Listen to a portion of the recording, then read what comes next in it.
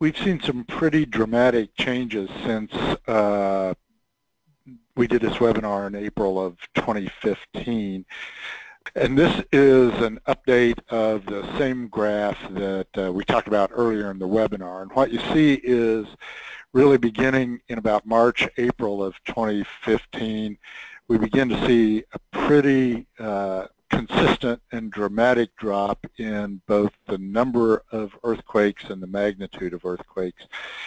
Uh, the last 4.0 that we had was in uh, uh, late May of 2015. We haven't had one since then. And we've seen a general drop-off in terms of, uh, of, of, activity. You can see a little bit of a bump back on, up at the tail end of the graph there in September. That comes about at about the same time as the 5.8 event down in Pawnee, Oklahoma. But again, in October, things dropped off pretty dramatically. So uh, we saw a pretty dramatic change there, and I, and I think we would would uh, uh, say that that was the result of two things. One is obviously the KCC order in in uh, in March of 15 had an effect, and we could see as we looked at those five areas designated by the KCC of zones of seismic concern, we could in effect sort of see the small earthquakes migrate out of those five zones. We still had a fair amount of activity in that area, but not as much in the five zones as we as we were seeing previously. So I think it was fairly clear that there was some impact from that order.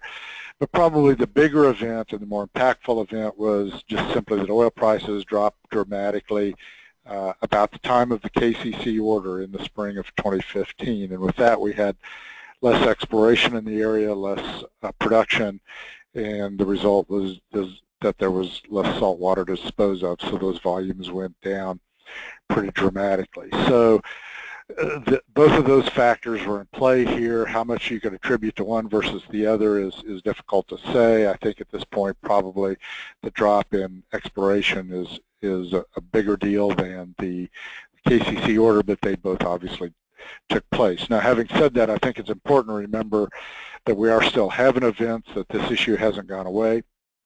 And in uh, in August of 2016, the KCC expanded that order, and this slide shows the original five areas in, in uh, Harper and Sumner counties with the large volume disposal wells within those five areas of seismic concern.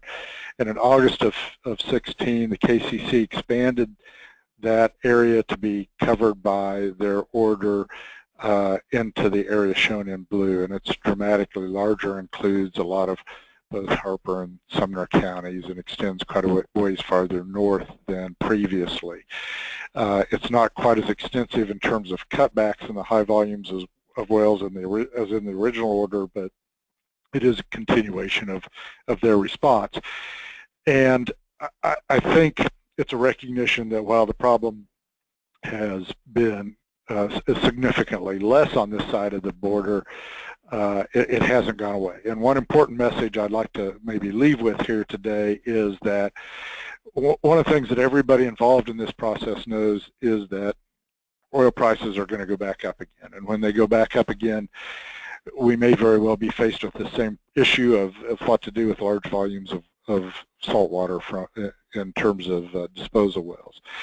And uh, what, what I, I've urged in this process is that we, we keep that in mind and as people make decisions about uh, permitting related to disposal wells that, that we take a look at the, at the issue and, and not view it as a problem solved as long as we're still having felt earthquakes and in some cases uh, fairly large earthquakes by our standard uh, until we're back in sort of the pre-seismic days of, say, 2009, 2010. I think it's important to keep an eye on those issues. So this August order from the KCC is their latest attempt to uh, continue to do that, and uh, we'll see where we go from here.